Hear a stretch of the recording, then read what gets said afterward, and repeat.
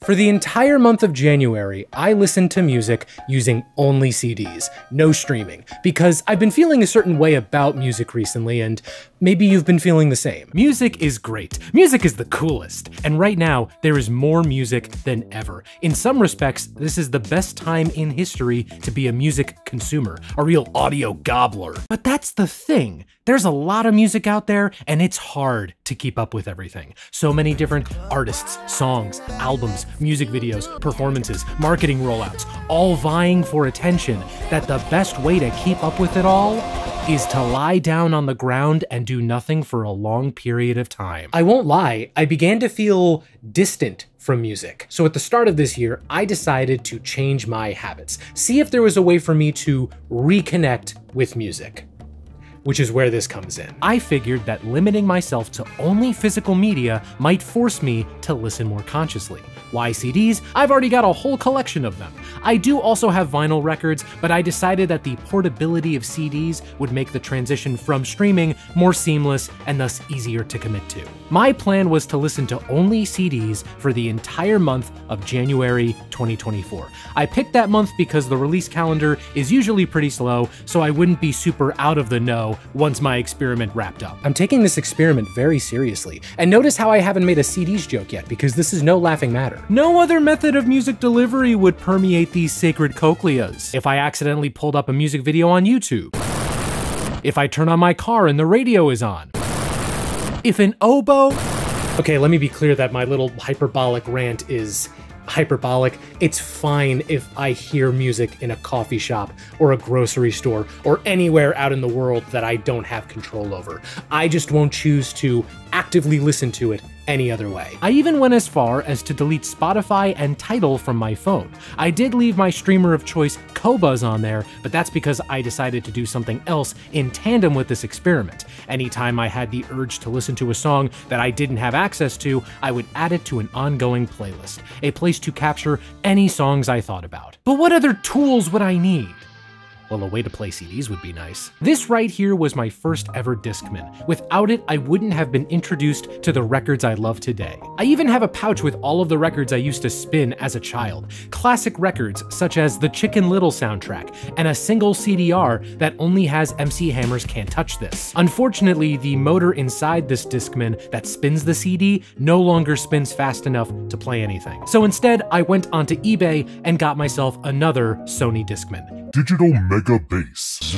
G protection, CD. But I also wanted to see what other advancements had been made to CD players since the 2000s. So for Christmas, I got this CD player off of Amazon because the review seemed good and the company that made it reminded me of Shrim from that Tim and Eric movie. This is my guiding light. Neither CD player has a clip or anything that would let me carry it when I'm moving about, so I got myself a CD fanny pack. Lincoln had one, why can't I? I've got a pair of earbuds that I had lying around, and lastly, just for kicks, I bought a pack of CDRs. When 2024 kicked off, I was still at my childhood home spending time with my family. I had a three hour drive ahead of me back to my apartment, so I made my preparations and said goodbye to everyone, including this cat. This cat doesn't directly matter to anything else in the video, but I'm not going to not show him off, come on. I needed some tunes for this long drive. Thankfully, I got a bunch of CDs for Christmas, many of my favorite albums from the year prior, and they made my drive home a good time. The biggest thing was just my ride back from home, back to you know my apartment. It was nice to uh, feel more of a reason to listen to albums all the way through or to treat them in my mind as just one cohesive whole. Um, and also not to be distracted by my phone or looking at my phone or anything like that. I will say though, looking at your phone while driving is bad and cumbersome and against the law. Changing CDs in a moving car might be even worse. I think I discovered in real time the appeal of disc changers in cars. But tomorrow is when I really put this bad Mama Jama through its paces, so we'll see. January 2nd was when I returned to my day job. I woke up, got out of bed, dragged a comb across my head, and before I made my morning coffee, I looked over my CD collection for a record to put on. It was nice to look over my collection and be reminded of records that I hadn't thought about in ages. I kicked off the morning by listening to Bon Iver's I I from 2019, I think. Um, I'm usually not the kind of person to be like, oh, like what's a good morning record for me? What's a good evening record for me? But I gotta say, looking at my physical media and like perusing it to find the best record for how I'm feeling in the morning was really nice. I was like, oh, is this a Guster morning? Is this a Lawrence morning? Is this a Justin Bieber Believe morning? And then after this, I listened to a bit of the Japanese House's good at falling. Uh, her new record, In the End It Always Does, was one of my favorites of 2023. Uh, but I was like, let me check out the old stuff too, because, you know, I had her on the mind. And yeah, it's still a great record. Um, I remember there was a show I went to last year where someone came up to me because they recognized me from the internet. And they were like, man, you introduced me to my favorite record of all time, which is Good at Falling by the Japanese House. Um, so if, if you're watching that dude who met up with me at that one show last year, uh, I hope you're doing well, and I hope you uh, are not only enjoying that record still, but also the new Japanese house record. But it was nice, and I used the fanny pack from uh, my hair is so out of control. I'm getting a haircut soon. You don't have to leave a comment about it. When lunchtime came around, I decided to go into town and get coffee. So I got my fanny pack on and took a walk. I just went out to go get some coffee, and I was bringing along with me the uh, little fanny pouch that I have. Let me take this off. This bad boy right here, uh, it went pretty well. I've got the Sony uh, Discman inside, and it's nice too because the buttons, if you see here, all of them are right at the top, or I guess the side of the unit, um, which is nice because when you just have it on your hip, you can just punch them in when you're looking down. Uh, the Klim one has all of the buttons, or most of the buttons, on the front of it, so you'd have to take that out if you want to do anything with it. I had Phoenix's record from 2022, Alpha Zulu, playing. I'm using these earbuds also. There was a part of me that instinctually went to like do the swipey thing with them if you want to turn them up or down, or the click thing if you want to turn on or off the music. Um, but I can't do that with these. Like I have to physically go to the buttons, which was kind of tricky under this P coat because I had the uh, fanny pack, if you will, under the coat. So if I wanted to pause or turn up the volume, I had to like lift up my coat, open this up, press the button, and then put it back to normal, um, which is just interesting. I also went out at night to get dinner, and this time I was playing Don't look at me like that. I don't know what it is. I think it was just like the bright orange spine of it just kind of called out to me in the moment. Yeah, I guess my, I think I only made it to, um, What's the what's the one song, the one single that everybody hates? The one. Oh, it's uh, the Supply Eyes. That that one. The next few days were fairly uneventful, but on the 6th, I had to make preparations for a coming snowstorm. I'm out getting groceries now. There's a bunch of people out and about too because there's a big snowstorm happening tomorrow. A parking spot has not been easy to find. You know what has been easy to find though? Yeah, just driving around with the CDs has been fine. If there's anybody out there who also has both I Am Easy to Find and Beck's colors in their car or in their CD changer, um, you are not alone in this world. When I got back home, look what had arrived! A CD that I ordered in the mail! Late last year, I got super into this record, Somebody in Hell Loves You by Sydney Sprague. Ordering that record ended up being a good call on my part because I was stuck inside the next day on account of the aforementioned snowstorm, so I got to hang out and listen to it all day. Good times. I really loved this record when I finally heard it like super late in December 2023. Um, and I probably would have put it on my best of, like the uh, my honorable mentions of my top 10 albums um, if I had heard it in time, but alas, I did not. Um, yeah, really, really good record. For all my calendar enthusiasts out there, this marks a week into my experiment, and honestly, it was going pretty well. Obviously, the music itself didn't sound too different, but the context of my listening made certain things stand out more. I didn't find myself skipping around songs or skipping between songs as much, because skipping around songs is kind of clumsy. In case you haven't used one of these before, the way that you fast forward or rewind is that you hold down the backwards or forwards buttons here. Um, it, it's clumsy because you've just got to sit there and wait until you get to the point in the song that you want to listen to. I also wasn't getting as distracted by my phone as much as I was when I was using a streaming service, since, you know, on a streaming service, I'm on my phone, and that makes it easier to like pull up social media or YouTube or anything else. And here's something I wasn't expecting. The earbuds I was using did a remarkable job of isolating outside noise, but that also meant that if I wanted to hear something in the outside world, I had to take them out and pause the music, as opposed to just turning on the little transparency mode on my AirPods, because obviously these don't have a transparency mode. This is all pretty mundane stuff, but the result is that I was able to take in more of the outside world and be reminded of songs that were just playing in public places. It was nice to go into like a Trader Joe's, hear a song playing, and, you know, be reminded of it, and then maybe add it to that playlist that I mentioned earlier. This experiment was going great. Was anything gonna mess me up? Around this time, we learned about new singles from Ariana Grande and Lil Nas X. I did not expect this. I thought I could go through January without any big music announcements. The last thing I'd want to do in January is make sound. Next Friday, I want to say, uh, Ariana Grande's first single comes out. I would be very surprised if that had any kind of, you know, CD presence.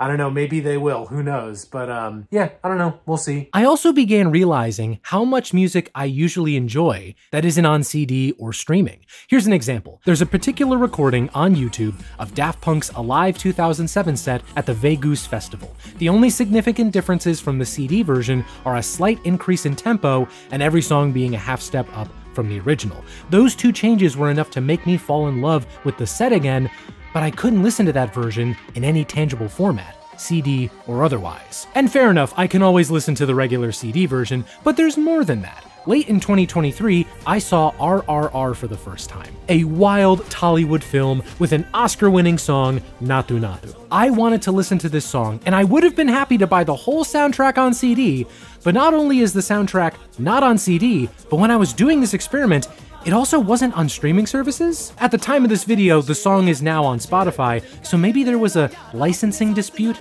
that's been solved? Mashups on YouTube, video game soundtracks that don't have a physical release, live streams where people play music. What about all of those? Recordings that don't have an official home. It made me realize how formless a lot of music is these days. We talk about preservation when it comes to digital media, but what about media that doesn't have a format to begin with? What about all this music that's just on YouTube or TikTok or a streaming service but doesn't exist anywhere else? What happens if it disappears one day? This was where I really started to feel the pressure of the release schedule creeping in. Faye Webster and Suki Waterhouse had just dropped songs. I wanted to listen to them, but I couldn't. Throw them on top of the new songs from Ariana and Lil Nas X, and I won't lie, I was starting to feel a bit of FOMO. Now you might be asking, Mike, you showed earlier this month that you had burnable CDs. Why didn't you just buy these singles somewhere and then burn them onto a CD so you could listen to them? That's a really good point, but here's a counter argument. I forgot to do that. Nearly halfway through this experiment, and I encountered another snag, and it was a big one one the size of multiple men. The National, my dad's, my best friends. I was gearing up to do a deep discog dive on them, and I always give records multiple spins when I'm doing research for a DDD. I did already have a few of their albums on CD, but I needed the rest. I was visiting family again on the 14th, including the cat. You can't escape his all-seeing eye, and while I was home, I decided to go to my local mall and visit. The only Newbury Comics in New York except for the other Newbury comics in New York. Luckily, I was able to get a copy of the National's most recent album, Laugh Track. I ended up staying a few extra days with family because of another snowstorm. I even went digging through a bin of CDs in my room. Took me back to the days of college radio, where I could just nab the first CHVRCHES record or the sampler for this unknown British singer named Sam Smith. Honestly, there were a couple of days where I didn't listen to any music at all, which kinda bummed me out. I'm an audio gobbler, right? Shouldn't I be engaging with this thing I love as much as possible? I tried to get some thoughts out when I arrived back to my apartment. You know, my relationship with music does not mean I have to be listening to it every single day. You know what I mean? Like I I can establish those boundaries and just because I went a few days without listening to a record doesn't mean I, you know, hate music now. Like uh, we, we all can define our relationships with music however we see fit, um, and no one can take that from us. It's really hard to uh, keep up with the conversation if you're not a part of some streaming platform, you know? Like, I mean, obviously you can keep up with it to a sense via, you know, Twitter, um, but like you can't listen to anything if you don't have like a streaming service you're subscribed to, or if you just choose not to listen to one. Uh, like I still have not heard in full uh, the new Ariana Grande track. I still haven't heard the new Lil Nas X. Uh, Glass Beach puts out a new record today, and I want to hear that because I've been hearing phenomenal reviews about it.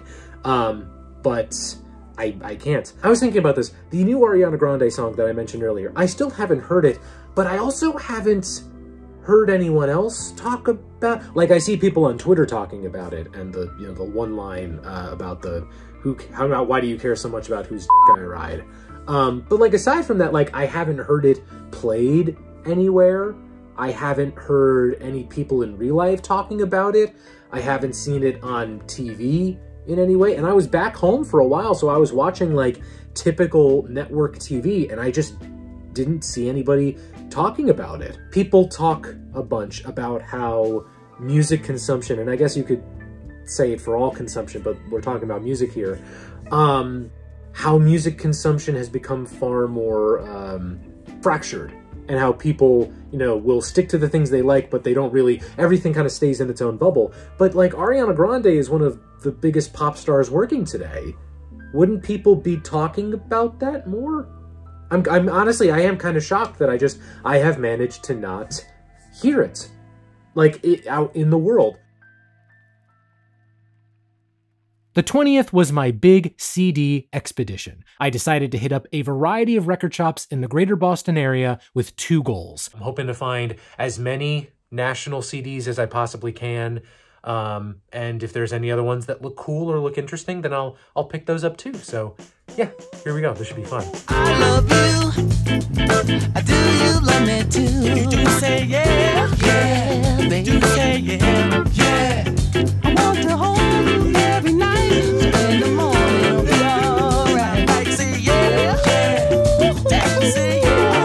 Got a bunch of CDs here. Super Funk, Janet Jackson's Rhythm Nation, Kooks Inside In, Inside Out, Sensual World by Kate Bush, Soda's Superhero, Interpol's Antics, the little puppet boy who gets in the car crash in that one music video, that's my son. I love you. Do you love me too? Say yeah. Yeah. Say yeah.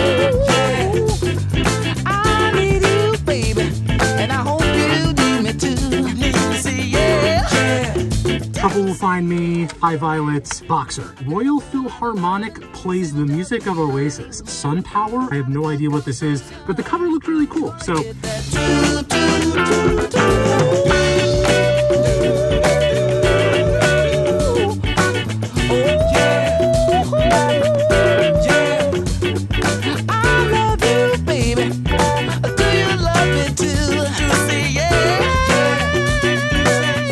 After visiting all of those shops, I had purchased well over a dozen CDs, and for the National, I now owned most of their albums. I was still missing their first three plus the EP Cherry Tree, and I figured they were all old enough that many record shops wouldn't have them, so I bought them directly from the band's website. In total, I spent $171.58 on CDs in that one day. The next week or so was honestly uneventful. By this point, nearly all of my listening was focused on the National. So I had their records on repeat with a little bit of Caroline Polachek on the side. Billion. January 30th is the anniversary of the Beatles' legendary final concert on the rooftop of Apple Corps, but more importantly, it's my birthday! I had gone out with some buddies over the weekend, so for the day of, I just relaxed and reconnected with some of my favorite records. And of course, the 31st was the final day of my experiment. I had made it a whole month only listening to CDs, and I celebrated this month long project by accidentally cutting my finger while making dinner and having to get stitches. So now that my experiment is over, let's do some pros and cons. On the plus side, I definitely found myself enjoying the music more. There was a greater tangible connection to the music I listened to, and it made the act of listening feel more special. I was reminded of records and songs that I hadn't thought about for a while, whether I had them in my collection or I heard them out in the world. I also wasn't as attached to my phone as usual, which meant it was harder to shovel slop into my mind by way of social media. Being more conscious about what I put into my brain made me feel more at peace and present in the moment. That might not be related to music streaming, but it's a nice unexpected win. The downsides, though? It's so inconvenient. Around my apartment, it was okay, but taking it outside meant I had to affix this fanny pack to my waist, and it was another thing I had to carry on my person, plus I had to be mindful of the earbuds and that corded connection. Of course, none of these things are genuinely annoying on their own, but compared to the wireless earbuds of today, there's no competition. In fact, the thing about streaming that I missed the most didn't have anything to do with the streaming service. It was my AirPods. Having these little buggers in my ears for most of the day meant I was always able to plug music or podcasts or YouTube videos directly into my sacred cochleas. Not having access to those quick fixes of the good dopa, that's what I was really craving. It all made me realize how severely music has lost the battle to convenience. Like, during this experiment, I saw this video of a mom going through her CDs, and her daughter was like, Okay, but here's the thing is that if you like a song on here, I could play it faster than you'd be able to no, open this. And, like, yeah, that's true, but that's not the point. That sums it up perfectly. The positive aspects of physical media are emotional, but the negative aspects come down to practicality and convenience. Also, this level of dedication to physical media can be expensive especially when you compare it to a 10 to $15 monthly subscription that gets you a good chunk of all recorded music. I want to acknowledge that for as much as streaming has wrecked certain things about music,